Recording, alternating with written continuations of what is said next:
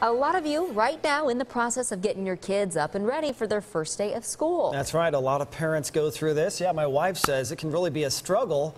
I don't know because I'm at work, so good luck, honey. Uh, anyway, if you haven't even thought about what you're going to feed them for breakfast yet or lunch, we've got you covered. That's right. Joel Nichols has some ideas for things you can whip up before getting your kids on the bus. He's live at the Hy-Vee in Olathe. All right, Joel, please tell us you have something our viewers can make quickly. You know how the first day of school can be. Something to get out the door and be healthy and be ready and be ready to go. And Lisa Bartels is back. So take us through the lunch or the breakfast process here so we're ready for school.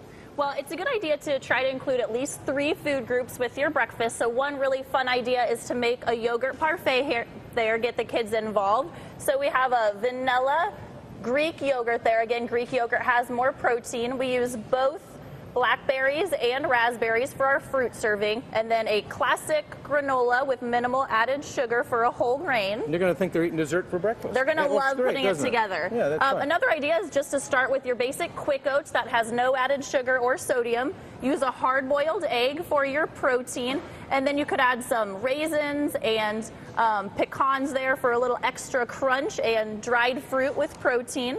What can you do here that you can do maybe the night before so all you do is grab it out of the, the fridge? Would this be something you could do the night before? I think you could go ahead and prep that in, in the fridge and maybe just put the granola on in the morning so it doesn't that'd um, be quick get then, soggy. That'd be great. And it's a good idea to include a dairy serving with breakfast. Eight ounces of low fat milk has about 300 milligrams of calcium, and kiddos four to eight need about a thousand milligrams of calcium each Build those day. strong bones. Tell us about the sugar walls you have here. These are amazing.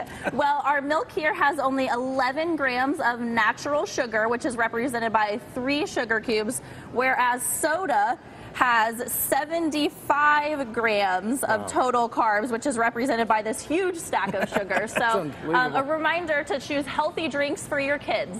Great ideas, and so you get your, your breakfast. Some of it you can do the night before, so you can really hit it. And if it looks like a dessert, then they're going to want to eat it. And then I remember last time around we talked a little bit about lunches and how to make that fun and nutritious at the same time. So good ideas, good way to get off on the right foot. And almost every teacher, my wife's a teacher, they'll all tell you, a good breakfast. If you can do it, that's the best way to get ready for your school day. Thank you, Lisa, so much. Thank you. Lots of good ideas.